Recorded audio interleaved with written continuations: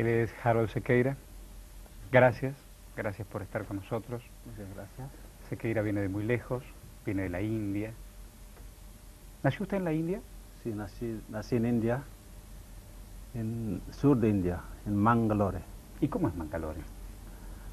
Cuando salí de Mangalore tenía 200 mil habitantes, ahora es un millón y medio.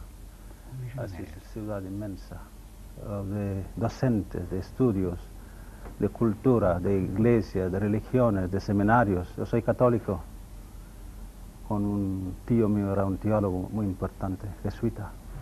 ¿Y cómo, cómo se llevan los católicos con el resto de la religión en la India? Hasta ahora ningún problema, pero esta- este año había cierto fundamentalismo, había un, un poco de problema. ¿La religión siempre es fundamentalista, cree usted? La religión, Si la religión es fundamentalista. No, no necesariamente, alguna sección pequeña que está en el borde, los marginados psíquicamente. Los marginados psíquicamente. Sí. ¿Y por qué el yoga en su vida? Mi- porque en mi vida, ah, según leyendas en India, siempre que hacemos en el pasado, sigue en esta vida. Pero como soy católico no tenía estas creencias. ¿Y entonces? Qué curioso. Y fue empujado en esta dirección cuando tenía 30 años, porque llevaba mucho estrés en la vida. Bombay es una ciudad muy estresante, Mucha gente. 16 millones pasado. Es mucha pasado, gente. Sí, Las ciudades no dan más. no, no, es eh, un desastre ecológico, Bombay. ¿Y qué pasó? Y a los 30 de pronto el corazón y la cabeza No, pidieron no, no, auxilio. no era tan, una cosa tan grande. Hemos visto un periódico, había un anuncio, un curso de yoga for better living, yoga para una mejor vida. Mejor bien. Así un amigo me llevó ahí, hacemos un curso y quedé enganchado por el resto de mi vida. Sí. Es enganchado es sus años en España. sí, aquí no se usan. Sí, sí, claro. Pero lo escuché tan, tan madrileño, Sí, tan madrileño. Entonces, a partir de ese aviso y de esa educación, el Sí. camino del yoga. Sí, tenía varias carreras, pero quería ser abogado, pero he visto que mi dirección era así, en esta dirección. ¿Y qué encontró en el yoga? Ah, paz, Paz. armonía, tranquilidad y viajes del mundo. Claro, poco pasaporte. Sí. Usted se ocupa del yoga educacional. ¿Qué es el yoga educacional? Para la educación necesitamos relajación, necesitamos concentración, autoconfianza, desarrollo personal, desarrollo de personalidad. Hacia abajo ciertos conceptos, tenemos prácticas para el desarrollo del hombre en todos los niveles, desde un chico de 7 años hasta un universitario de 25. Es cierto. Y a partir del yoga educacional, ¿por dónde pasará la potencia de esta disciplina para que uno pueda ser un mejor estudiante, por ejemplo? Ah, ¿Puede reformar la Sí, pregunta? claro, por supuesto. Si yo practico yoga, Mm. ¿de qué manera puedo ser un mejor estudiante? Primero, la concentración se aumenta. La concentración. Sí, se aumenta a través de prácticas. La atención se aumenta. Y estudias mucho más rápidamente. Ah, sí. Sí, claro, rápidamente. La mente está despejada. Sí, mucho más despejada. Así es una postura para empezar. Yoga educación no consiste en muchas asanas, etc. Es coger una postura cómoda, centrarte mismo, estudiar, sacar pu- apuntes, puntos importantes, sacar una definición de tu tema, hacer un resumen, próximamente volver a hacerlo en breve, guardar todo aquí. La mente es muy potente, puede hacer. La mente es muy potente. Sí, Eh, yo presté atención mientras iban los títulos del programa. sí. ¿De qué manera usted se estaba concentrando Mm. en este momento? Para estar más relajado, Para estar más relajado. estar más receptivo, para mm, las respuestas que, que salen del corazón. Las respuestas siempre tienen que salir del corazón, ¿no? A veces Sí. hay una, una batalla entre el cerebro y el corazón. ¿Quién ganará? ¿Qué hacemos? Es bajar la mente, es una parte, como conocen aquí en Occidente, pero Claro. otra está aquí. Conectamos con aquí, con una mantra. Si de ahí sale cosas más normales, más naturales, sin redobles y juegos y nada, directo, sincero. Porque el hombre maquilla demasiado, ¿no? Le pone un Sí, maquillaje y sí. un disfraz. piensa que decir grandes cosas para llamar la atención. Grandilocuentes. Sí. Y las cosas que salen del corazón son muy simples. Y muy directas. Y, más directas. Sí. Saben exactamente dónde van. Sí. El ego funciona más de aquí. El hombre occidental siempre habla de aquí. El oriente habla de aquí. Porque la más, parte más alta de la chitta o el complejo de personalidad, como explica Patanjali, funciona de aquí. Hoy una amiga me decía, porque en estos días hemos hecho un viaje importante para trabajar para Zona Infinito, lejos de aquí, donde está la montaña, el mar, y me decía, eh, porque cada uno de los integrantes del equipo algo le pasó, algo le pasó bioenergéticamente. Y en ese desequilibrio o en ese desorden, mucho paisaje, mucha ciudad. Y todo con la velocidad que da el avión. Mm. Y de pronto no tenemos referencias. Y me decía, en la ciudad muchos egos, mm. la suma de egos. ¿Puede ser eso? Muchas luchas, muchos conflictos. Muchos conflictos.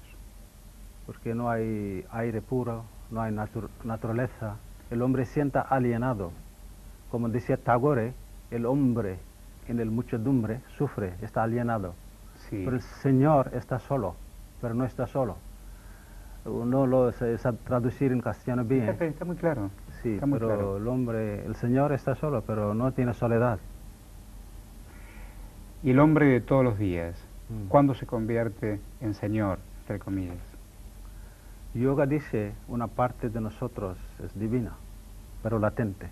La otra parte es cósmica, con todos sus evolutivos. Así, si podemos llamarle, conectar con él, no en sentido religioso, pero en sentido espiritual está ahí.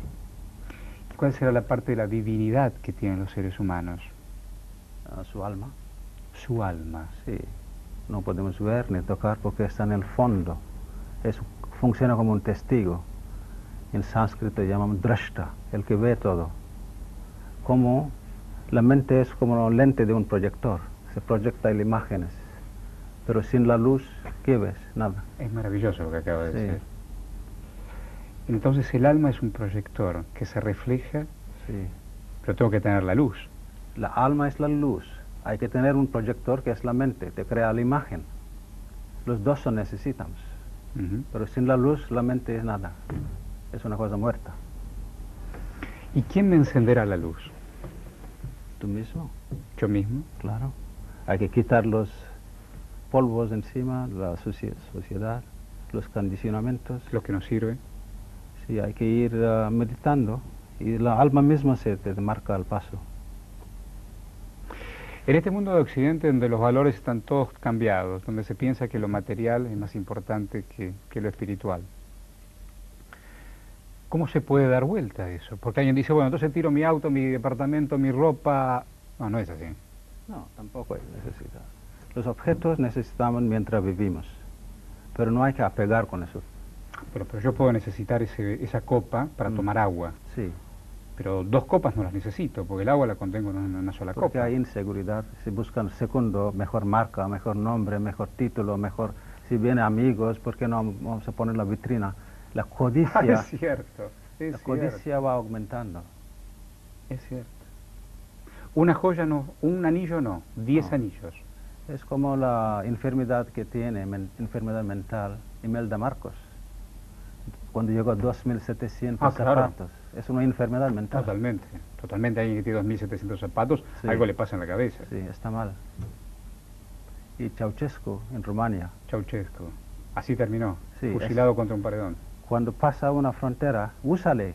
Tienes objetos, úsale. Pero cuando pasas y se pones doble, triple esta enfermedad. Después me va a explicar, después que vengamos de un corte, de qué manera uno puede acumular, en vez de bienes materiales, bondades del corazón. Cuando regresemos. Estamos aquí con el licenciado Harold Sequeira de la India, hace un ratito llegado a la Argentina. Le preguntaba sobre los bienes del espíritu. ¿Uno debe acumularlos o generosamente también cederlos? ¿Del espíritu o de la materia? No, no, de la materia ya vimos. Los, los, miles zapatos ya está. Mm. ¿Puedo tener dos mil bondades? ¿Qué tengo que hacer con el espíritu? El espíritu hay que, si tiene contacto con él, y hay almas preparados para recibirlo. Hay que comunicar este día. ¿Cómo sé si el alma está preparada? Sí, ve, en- enseguida te ves. Si, están, Sí. si te preguntan, tiene este brillo en el ojo, Ah, sí. si en el alma se está abriendo, se lo abre una ventana hacia ti. Usted sabe que es una pregunta que nos hacemos aquellos que hacemos medios electrónicos de comunicación. Sí.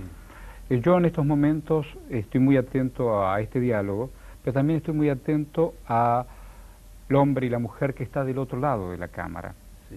tratando de imaginar su interés Mm, por sus respuestas. sí.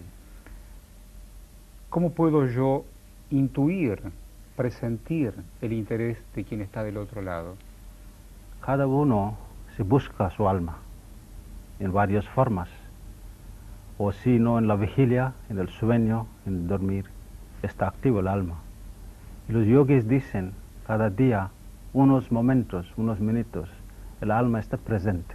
Cuando baja las ondas cerebrales, el cerebro está muy quieto. Sí. En estos pocos minutos en la madrugada te comunica contigo, pero como está muy, muy sutil, el hombre apenas escucha. Si uno está atento, los místicos están atentos. En estos momentos toman contacto con su alma. Está lleno de energía. Los proyectos he- hechos en esta dirección, si cuando escuchan, si notan, si hacen este trabajo, sale muy bien. Y cada uno tenemos este contacto. ¿Qué es la medicina ayurveda? Ayurveda es una ciencia gemela con yoga. A ver. Sale de los... ah, tenemos cuatro Vedas, eran himnos místicos, pero de uno de ellos salió una rama de medicina. Había ocho departamentos. El primero es la terapia, y yoga estaba interesado en esto. El resto es como tratamiento de todo tipo de enfermedades, y con su propia farmacopia, y con su cirugía, y todo esto. Eh, el organismo humano Sí. eh, tiene bases de ayurveda. Sí, claro. Sí, claro. Son tres, ellos hablan de tres humores. Tres humores. Sí. Vata, el aire o energía. Pitta, o el metabolismo que da el calor. Y Kapha, es, termina en mucosidad, la parte mucosa en el cuerpo. Todo lo que, que tiene está conectado con los órganos interiores. Y cómo los tres funcionan. Cuando uno en exceso produce enfermedades, por ejemplo, Pitta, se nota más en el bilis. Cuando Sí. el bilis se aumenta, Sí, claro. el hombre se está, queda envenenado. Claro. Entonces el ayurvédico, aparte de varios eh, test que hacen, uno hace del pulso y enseguida se nota, tres, tre- toca tres pulsos aquí, Vata, Pitta y Kapha. Por ejemplo, antes de venir aquí, es- estuve entrevistando a una señora médico muy importante de Ayurveda. Eh, ella me tomó el pulso, dice, en tres días tú vas a tener como ganas de vomitar, náusea, un poco dolor en- el corazón y cuidado. Yo pensé, era un poco anecdótico. Día 4 estuve en casa, empecé a sentir calor, sudor, tiré en el suelo, dolor en el corazón. Digo, ¿qué está pasando? Mi mujer estaba preocupada. Casi cambió un infarto, pero era exceso de pitta o de bilis. Y próximo día hice una lavar, lavar eh, forma de ayurveda, limpieza, y si todo el bilis salió, estuve bien. El pulso volvió normal. Entonces, ayurveda es preventivo una parte, con varias limpiezas de órganos interiores para mantener, como dice en la medicina, el estado de homeostasis. Homeostasis significa el equilibrio entre los humores y hormonas. Los griegos estudiaron en Ayurveda en India y pusieron otro más humor, como es de sangre. Me he quedado en silencio porque me impresiona lo que me ha pasado y lo que le ha pasado a usted. Yo le comenté esta descompensación y frente a un río muy importante de un país vecino, una mujer que manejaba el líquido raquídeo y manejando algunas mantras, me dijo, en los próximos días, ven ahora mi recuerdo, Mm. usted va a tener tal cosa y efectivamente, Mm. simplemente posando su mano por algunos tránsitos orgánicos, lo ha descubierto.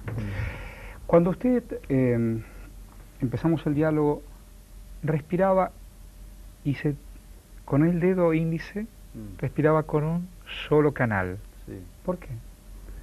Ah, para bajar las ondas cerebrales, para usar el otro hemisferio. Y la izquierda sí es de cálculos, de nombres, de palabras, de ideas, pero lo derecho es más expansivo. Se baja enseguida las ondas cerebrales, baja enseguida el alfa y más bajo, ¿Y para qué sirve? para estar mucho más atento a qué dices, para sacar de ¿Es más un ejercicio de concentración o como un gesto, como bien me acaban de enseñar? Es un gesto.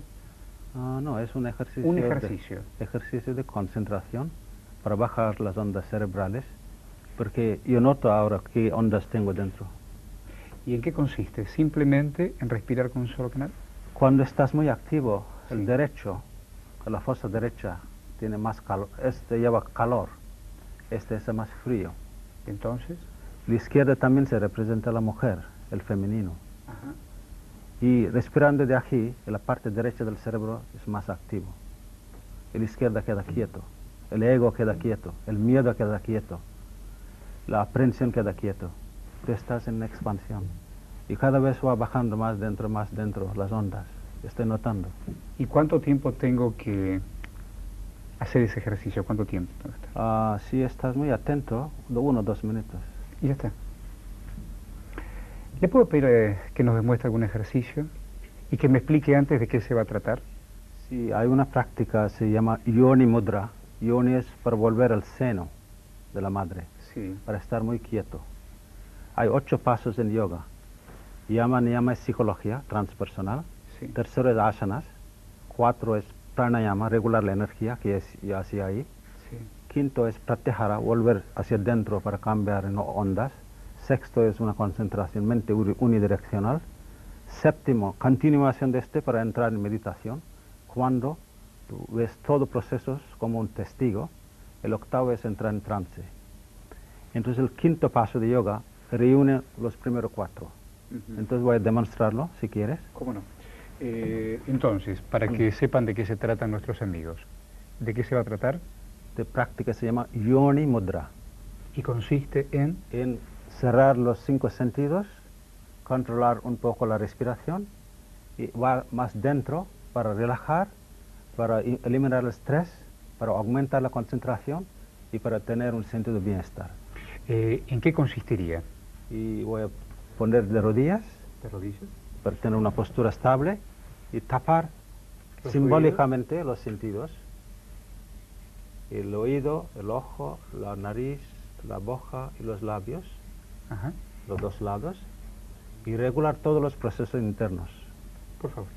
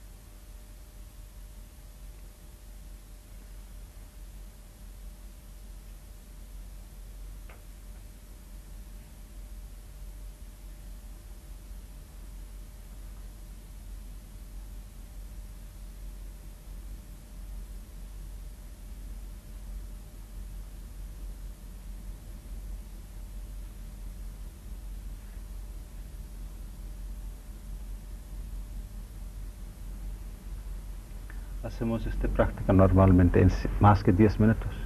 Diez minutos. Más, porque es para tener el efecto. ¿Cuándo tengo que hacerla? ¿Cuando recién me despierto? ¿Antes de irme a dormir? ¿Cuándo como- sería el momento ideal del día? ¿En medio de mi trabajo? Por, el- por la mañana, antes de ir a trabajar, puede ser importante porque te coloca tu mente en un sitio donde las cosas no te afectan tanto Claro. y puede estar mucho más relajado. ¿Qué significará tener buena salud? Lleno de vitalidad, una mente tranquila, una persona bondadosa, creativa, una persona concentrada. Alguien seguramente se estará preguntando en su casa, yo soy una buena persona, trabajo, quiero a mis hijos, cumplo con las obligaciones sociales, pero eh, tengo conflictos con mi trabajo, el dinero no me alcanza, eh, a lo mejor no me llevo bien con la persona que me acompaña en la vida. ¿Qué le puede sugerir a usted? Empezar a hacer yoga. ¿Por qué no? Sí. ¿Por qué no? Porque es la mejor forma de autocuidarse, para inmunizarse contra todas las cosas que pasan en la vida y para aceptar todos los desafíos. ¿Cuál es el desafío más grande que usted tuvo en su vida? Usted tuvo en su vida. Para superar mi ira. Oh, Porque según Ayurveda yo soy pitta, ah, de carácter pitta, fuego. fuego. Entonces el fuego sale de los ojos, ¿Y hasta entonces? los ojos. ¿Y entonces? Para dominar, el autodominio es más difícil que cualquier otra cosa. Usted era un hombre con mucha ira, Ah, contenido, contenido, y eso le hacía mucho daño. sí. Porque en esta tarea, profesión, el momento que si sale el ira se quema a la gente, Claro. porque están mucho más frágiles en ese momento. Porque el que va a usted está mucho más frágil. Claro. Entonces repercute mucho más. ¿Cómo es esto de las vidas anteriores? Ah, el alma es infinita, El alma es infinita. sin límites, ubicuito, está en todos los sitios, indivisible, testigo, eterno, conciencia pura. Entonces, ah, él usa, él coge este cuerpo, se crea este cuerpo, entra en una familia donde puede desarrollar su trabajo, elige la largura de su vida, cuántos años vas a vivir, el tipo de experiencia que vas a tomar, antemano. Y así, como cambiamos nuestra ropa, el alma cambia el cuerpo. Muchas gracias, Harold. ¿eh? Muchas gracias. Lo mejor para usted. Gracias.